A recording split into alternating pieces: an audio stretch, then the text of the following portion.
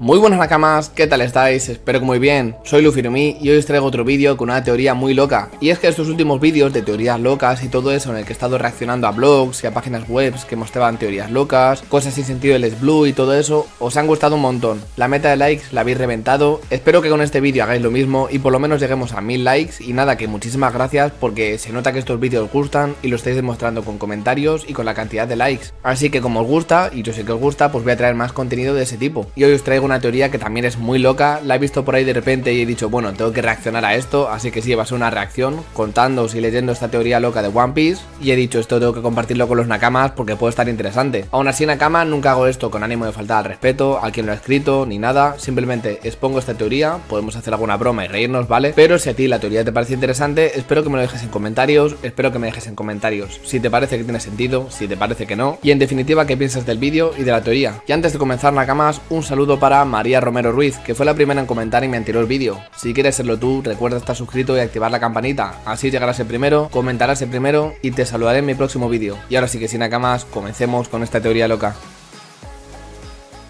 Pues bueno, Nakamas, en esta ocasión vamos a leer este artículo, esta teoría loca, de la página web Geek Me. El título es La teoría más loca de One Piece, Joy Boy en realidad es Brook. A ver, ¿eh? Esto pinta bastante bien. Tal y como os he dicho, pinta bastante bien, sonó muy interesante y dije, bueno, he escuchado alguna cosa de estas, no sé si por YouTube, en algún título algún vídeo, me ha salido por ahí en Twitter, no sé. He visto algo relacionado con esto, vi de repente la página web y dije, esto tengo que traerlo al canal porque estoy seguro de que os va a parecer interesante. ¿Y esto? Spoilers. Si esto es real, prácticamente podría ser el final de la historia de One Piece. Bueno, a ver, esto ya es poner mucha carne en asador, ¿eh? Decir que si esta teoría es de verdad, ya conoces el final de la historia de One Piece y todo, vamos, se resuelve todo. Vamos a ver si es para tanto Nakamas, vamos a ver esta teoría. Esta es probablemente la teoría más descabellada, pero con más sustento de todas. Bueno, más descabellada no creo, porque en este canal hemos visto teorías muy muy locas. En esta se menciona que Brook, el músico de la tripulación de los sombreros de paja, es en realidad Joy Boy, el primer dueño del One Piece. La teoría ha sido compartida por Me llamo Mulo en el famoso foro de One Piece Pirate King Foros, una página web muy buena, Nakamas,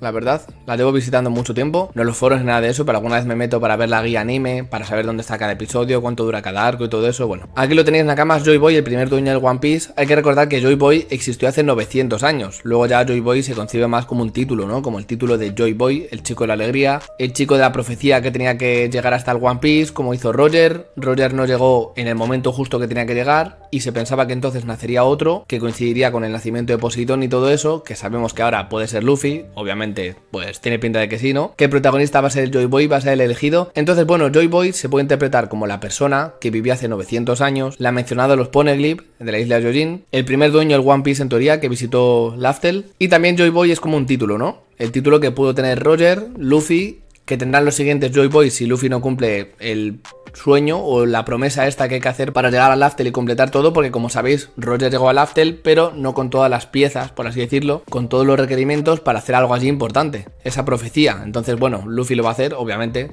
contará con Shirahoshi, que es Poseidón, y con otros recursos que Roger no tenía en ese entonces, aunque conocía la historia. Luffy conocerá la historia, tendrá los requisitos y lo cumplirá, y finalmente será pues como el Joy Boy elegido, ¿no? Más o menos eso es lo que pensamos en la comunidad todos por lo que nos dice One Piece. Creo yo, vamos. El primer Joy Boy nació hace 900 años, entonces la teoría no sé a qué se refiere con Brook que sea Joy Boy, porque no puede ser el de hace 900 años, pero bueno. La teoría fue publicada el sábado 12 de septiembre de 2020 a las 7.20. Y pongo la fecha porque si esto es cierto será histórico. Esto comienza de la siguiente manera. Brook es el único Mugiwara cuya infancia no nos han mostrado. Lo único que sabemos sobre él es la historia que nos contó sobre su antigua tripulación. De hecho, si volvemos a imaginar toda la historia del pasado de Brook, pero cambiamos su versión humana por la del esqueleto, realmente no cambiaría nada. A ver, en los flashbacks sale con carne y hueso, ¿no? O sea, no es un esqueleto desde hace tanto tiempo, desde su nacimiento o antes. Brook nos cuenta que sus nakamas murieron por flechas envenenadas, y el motivo por el que esto hubiera sobrevivido sería que no tiene carne ni piel que puedan resultar afectadas por el veneno. Una de las cosas que refutaría esta teoría sería su cartel de Se Busca, en la que le vemos como un humano. Sin embargo, pudo haber sido una confusión, ya que si recordamos, Sanji, Chopper y King también tuvieron carteles erróneos. A ver, en este sentido, la teoría está contándonos que a lo mejor Brook no es un esqueleto desde que murió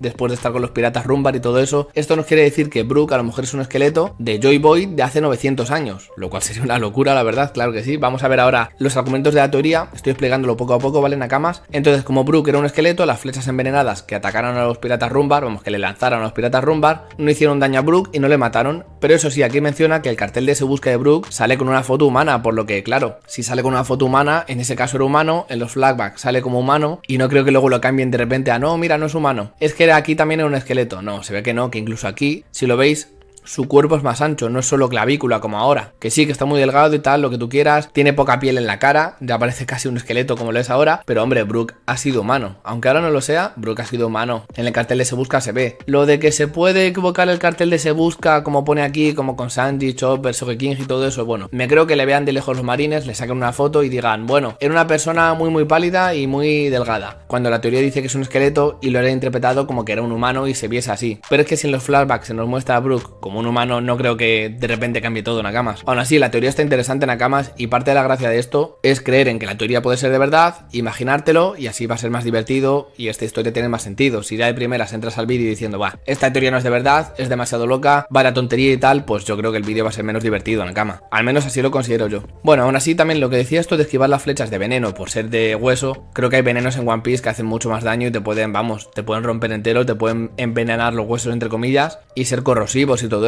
Creo que no hace falta tener carne para ser envenenado y menos en el mundo de One Piece. O sea, Magellan podría envenenar el esqueleto de Brook y debilitarlo. Eso pienso yo, vamos. Aún así, esta parte está interesante. Vamos con la siguiente. Si la teoría es cierta, Brook o Joy Boy habría estado desde hace 900 años, yendo de tripulación en tripulación, muy al estilo de Robin cuando era niña. Con esto en mente, para Brook los Mugiwara solo serían otra tripulación con la cual pasar unos cuantos años. Imagina a Brook yendo de tripulación en tripulación y tocando durante casi un milenio su Sack de Binks, misma canción que incluso los piratas de Roger conocían. Sería muy interesante esto que sí, que el Sack de Binks fuera la canción de Joy Boy de hace 900 años, que hubiese una persona, no digo que sea Brook, pero bueno, aquí se dice que Brook, que hubiese una persona que, o el mismo Joy Boy, quiero decir, que desde hace 900 años vaya de tripulación en tripulación, cambiando, buscando una tripulación que pueda encontrar el One Piece, es una historia fantástica, es una historia que me encanta. Y esto querría decir que Luffy pues tiene la oportunidad y tiene su tripulación a la persona que le ayudaría a encontrar el One Piece de verdad, de ser la tripulación definitiva que lo va a conseguir. Esa idea me gusta un montón, ¿eh? Esa idea de que Joy Boy ha ido por todas las tripulaciones hasta llegar a la correcta, me mola un montón.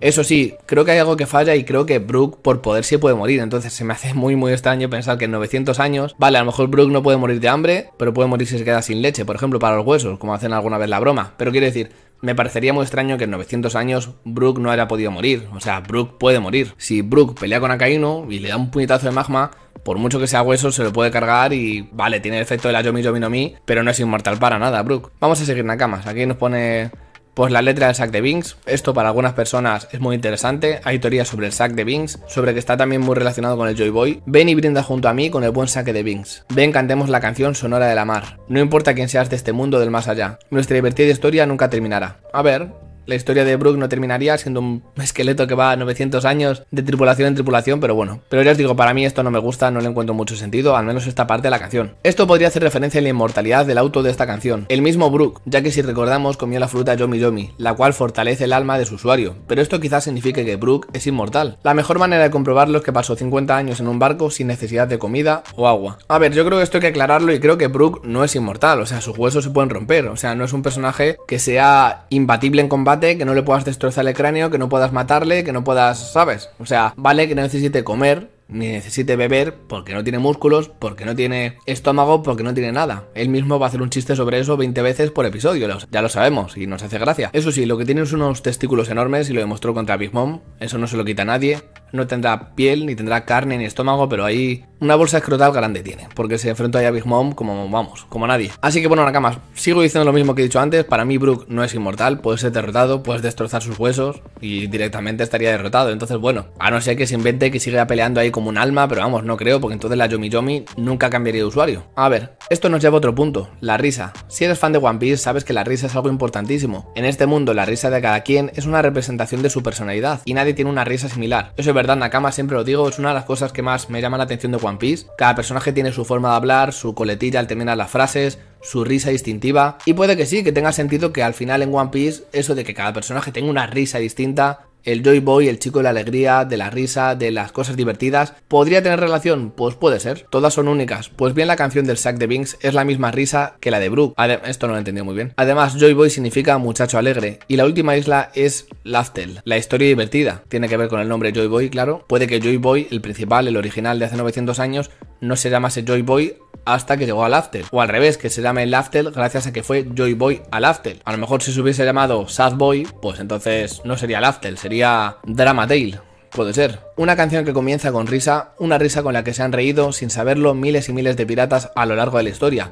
Yo jo jo jo jo. Yo. La risa de Brooke, que ya cantaban los tripulantes del barco de Roger 20 años antes de que viésemos a Brooke reírse por primera vez en la cronología de One Piece. A ver, a ver, a ver, a ver. A ver, esto puede tener varias interpretaciones, ¿vale? Que en el Sack de Beans, cuando lo cantaba Brooke y todo eso, la canción original, suena todo el rato la canción de Brooke, el yo jo yo jo. Vale. Entonces yo pienso, por una parte, que puede ser que como Brooke desde pequeño quería ser músico y le hemos visto en alguna ilustración ya con algún instrumento, y Brooke ha amado la música durante tanto tiempo, a lo mejor escuchó desde muy pequeño el Sack de Beans, le llamó la atención ese cántico, esa risa distintiva de piratas que había en la canción, y entonces él decidió reírse así ya, pues como no sé, en representación al amor a la música o se le quedó grabado y por eso se ríe así. Y la segunda explicación que yo le daría es que simplemente nos presentaron el sack de Binks con este nuevo personaje en la serie, en Thriller Bark, Brooke, y dijeron, pues bueno, pues vamos a poner su risa distintiva en la canción, pues como para presentar mejor al personaje, para que sea más conocido, por así decirlo, y dar más a conocer su risa y todo eso. Puede ser, vamos acá más este párrafo, la última parte de esta teoría habla sobre el sueño de Brooke, que es dar la vuelta al mundo y reencontrarse con su amigo Laboon y darle una caracola con la canción. Pues bien, hay una frase muy importante contada en el capítulo 968 del manga, cuando Roger y su tripulación viajan con Oden a la isla de Yorin. El día en que los dos reyes se reencuentren, las ballenas serán felices. Las ballenas son importantes en One Piece, tanto así que el barco de Shirohige era una,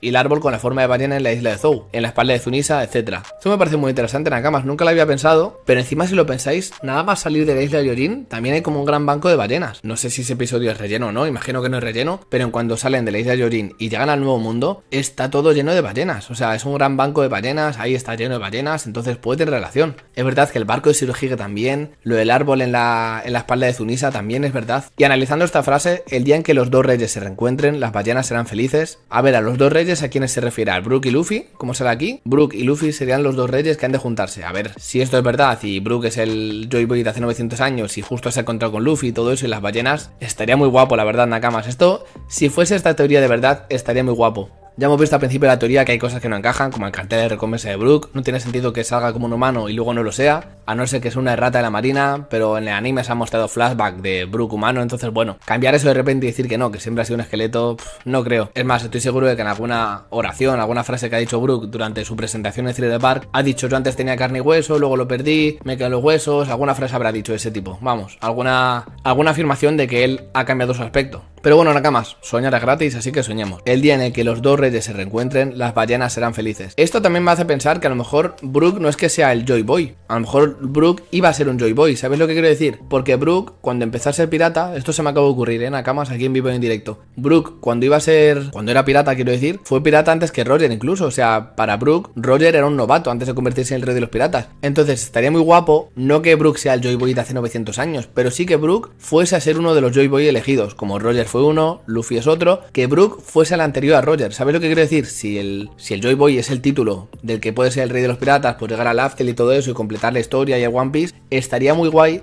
que el anterior Joy Boy a Roger, ya que el próximo es Luffy, que el anterior fuese Brook. Eso estaría muy guay, si lo confirman estaría muy guay. Igual que Roger fracasó, quizás Brook era otro Joy Boy que acabó fracasando porque acabó en la tripulación que no debía, con los piratas Rumbar, conociendo el sack de Binks, pero al final siendo asesinado junto a su tripulación, ya me entendéis. A lo mejor Brook sí que es un Joy Boy, eso estaría interesante, en ¿eh, Nakamas? Sí que fue uno de los posibles Joy Boy, al igual que Roger, eso estaría muy interesante, Nakamas, se acaba de ocurrir. Y por eso lo de las ballenas y que tenga relación con la Boon, y como la frase esta que dice las ballenas, porque quizás Brook sí se encontró con la Boon, una ballena en su camino, tal y como dice la frase esta, de lo de Roger y Oden, pero al final no consiguió lo que tenía que conseguir, al igual que Roger. Estaría muy interesante, ¿eh, Nakamas? Vamos a leer aquí el final ya. Además, Luffy desde el capítulo 8 sugiere que quiere un músico en su tripulación.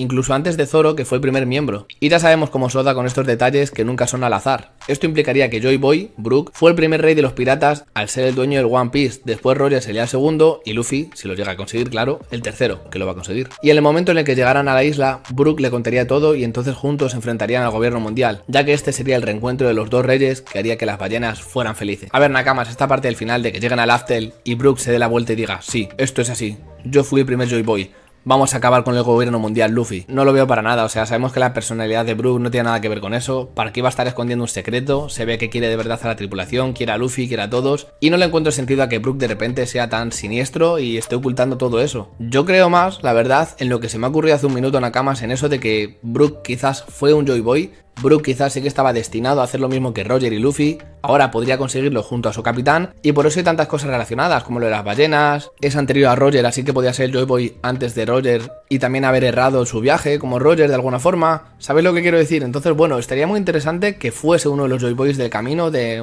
un Joy Boy también que contase con el título y también fracasase, y que al final acabe en la tripulación con Luffy aquí bebiendo leche los dos, y Luffy consiga ser el rey de los piratas. Aún así, Nakamas, todo lo que pone en la teoría, todas las explicaciones y todo eso de que Brook sea el Joy de hace 900 años, he de decir que me han parecido muy interesantes. La teoría es muy ingeniosa, la verdad, tiene detalles muy interesantes como esto, lo de cartel de recompensa, admitirlo y decir, bueno, esto no está bien con la teoría, pero lo decimos, tal. Me parece muy interesante la teoría en general, Nakama, es muy muy interesante. Tal y como os digo, se, disfruta más esta teoría, aquí le vemos con la Boon, se disfruta mucho más esta teoría si abrimos un poquito más nuestra imaginación y pensamos que puede ser verdad, nos metemos en la historia de One Piece, en los detalles, en todo y disfrutamos la historia. Entonces, si desde el primer momento te metes al vídeo y dices, es una teoría loca, esto seguro que no, qué tontería es esa, ese argumento no, tal, que yo también lo he ido haciendo poco a poco, pero para explicar el vídeo, ¿vale? Para explicar el artículo y tal, ir diciendo cosas. Al fin y al cabo estoy reaccionando. Pero no sé, yo me lo estoy imaginando y tiene mucho sentido Nakamas y mola. O sea, no digo que tenga sentido de que vale, esto va a ser así, porque tal y como digo, yo no me creo que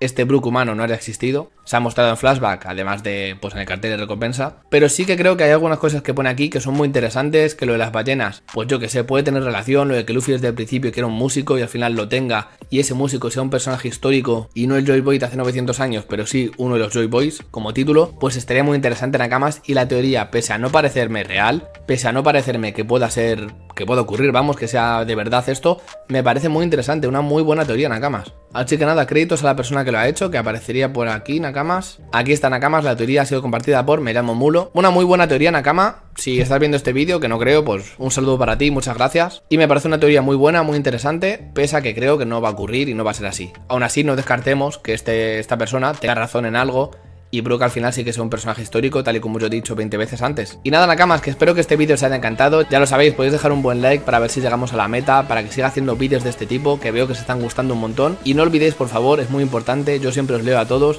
dejadme en comentarios, hacer el esfuerzo de escribir en comentarios, así nos comunicamos entre todos y formamos más comunidad. Dejadme en comentarios qué pensáis de esta teoría, qué puntos fuertes pensáis que tiene la teoría, qué puntos débiles tiene, en plan de esto no tiene sentido, porque tal, lo del cartel de se busca. Y también podéis dejar más información en plan de, pues yo creo que Brook sí que puede ser Joy Boy hace 900 años porque mira esto, porque dijo esta frase no sé qué episodio y tal. Podéis hacerlo así en Nakamas y va a estar muy interesante, así que dejar abajo en los comentarios vuestra opinión. Y nada Nakamas, que por aquí a la derecha os voy a dejar otro vídeo que creo que os puede encantar, además de dejaros por aquí a la izquierda el botón para que os unáis a mi tripulación. Nos vemos en el siguiente vídeo. Un saludo Nakamas.